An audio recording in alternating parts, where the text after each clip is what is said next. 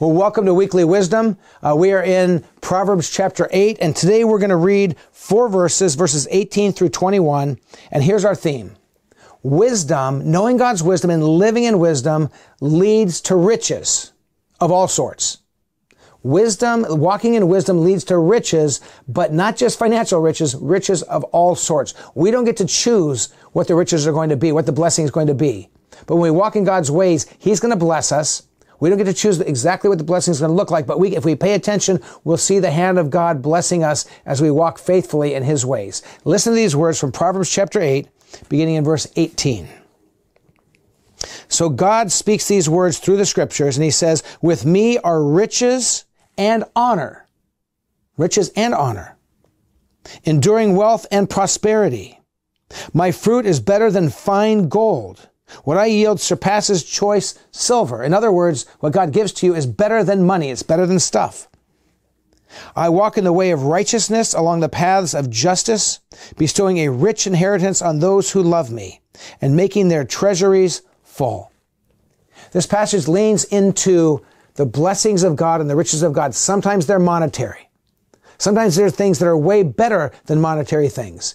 As a pastor, I've sat at the bedside of, of more people than I can remember who have been sick and drawing near death or who are passing away. I've sat with families at the moment that a family member took their last breath. I can tell you this in all my years, in all the, in all the bedsides I've sat by of family members together when someone's drawing near the end. Nobody ever asks for their checkbook to show me how much money they have. Nobody ever says, hey, hey, I want to show you my car in the, in the garage or in the driveway and how, how, how cool it is, how beautiful it is. Nobody talks about that stuff. They say, hey, I want to see the grandkids one more time. Or they say, I want to hold the hand of my wife or my husband one more time. Or they want to just reach out to one more friend. There's things that are worth more than silver or gold. And that's part of God's blessings on us. And then also in this passage, it leans into the reality that righteousness and justice, that some of the blessings that God gives to us are not material things.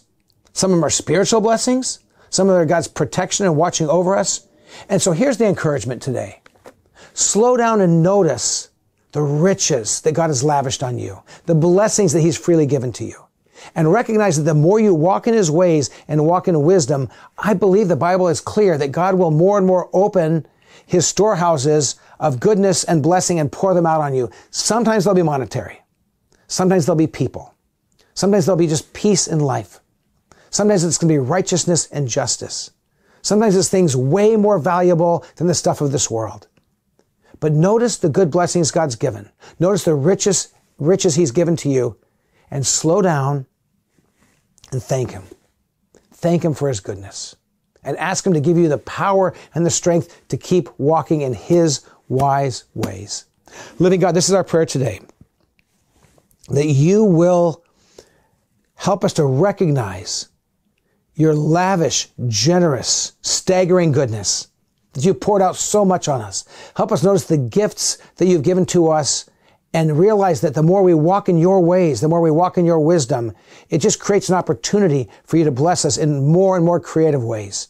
Help us notice every good gift. Thank you for those things and live lives that are grateful each moment of each day. We pray in your beautiful name, Lord Jesus. Amen. Well, blessings on you. Have a great day. If you are part of Shoreline Church, we'll see you at church at 9 and 11 online or on campus. If you live in a different part of the country, different part of the world, and you're part of another church, blessings on you. Be part of your church. Serve there, give there, love there, and be God's person in that place. Be part of His family. Blessings and have a great day.